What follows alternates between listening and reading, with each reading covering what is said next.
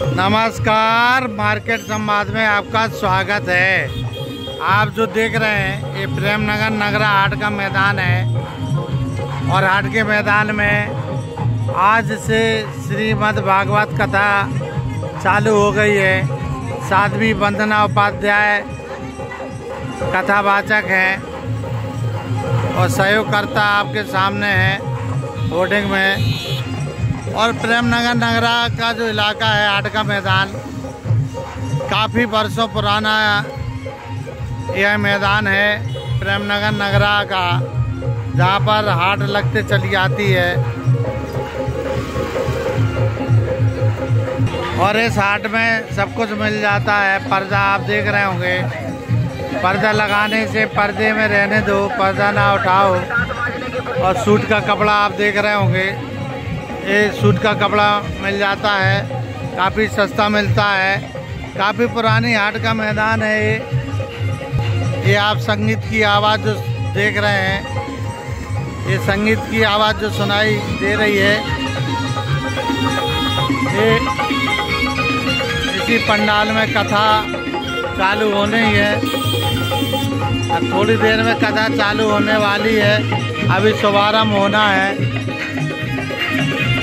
इस हाट की खासियत है कि नमक से लेके मिट्टी तक मिल जाती है।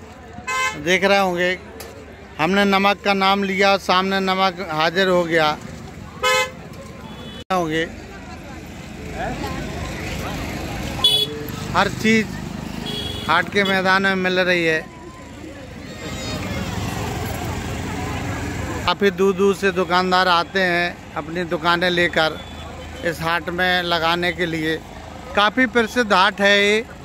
उसका कारण है कि यह क्षेत्र जो आप देख रहे हैं, ये प्रेम नगर नगरा झांसी का क्षेत्र है और यहाँ पर सब रेलवे के कर्मचारी ज़्यादा रहते हैं यहाँ पर।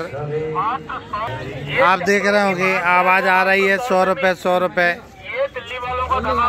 दिल्ली वालों का धमाका है, मात्र सौ रुपये में।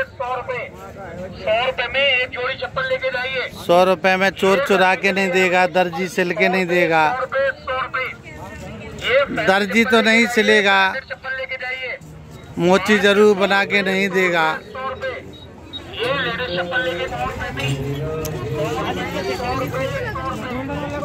ये बुंदेलखंड की बहुत प्रसिद्ध हाट का मैदान है जहाँ पर हाट लगती है। बस ये देखते रहो, क्या ना, नहीं मिल रहा है। पापड़ आप देख रहे होंगे, होली आने वाली है। और गब्बर शोले फ़िल्म में पूछता है, होली कब है, होली कब है? अब यहाँ गब्बर तो नहीं है, लेकिन हाट के मैदान में ज़रूर पापड़ और होली का आइटम मिल रहा है। हर आइटम तीस रुपए हर आइटम तीस रुपए। हे पचास वाला आइटम तीस रुपए हे पचास वाला आइटम तीस रुपए।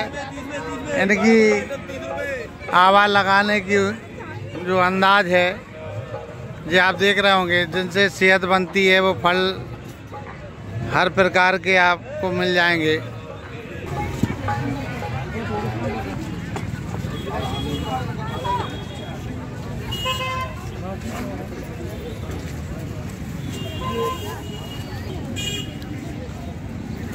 महँगाई के दौर में हरे हरे चना भी आपको हाट के मैदान में दिखाते हैं। जैसे पूरा खेत उखाड़ के आ गए हों। आप देख रहे होंगे, पूरा खेत उखाड़ के यहीं लेके आ गए हाट के मैदान में। क्योंकि सोच रहे होंगे कि हरे चना है तो तौल में अच्छे बिक जाएँगे। जब ये सूखेंगे तो उतना मार्जन नहीं मिलेगा। एक किलो बीस के हैं। चना छोले हरे हरे, क्योंकि कच्चे बेचने से प्रॉफिट ज़्यादा हो रही है उन्हें।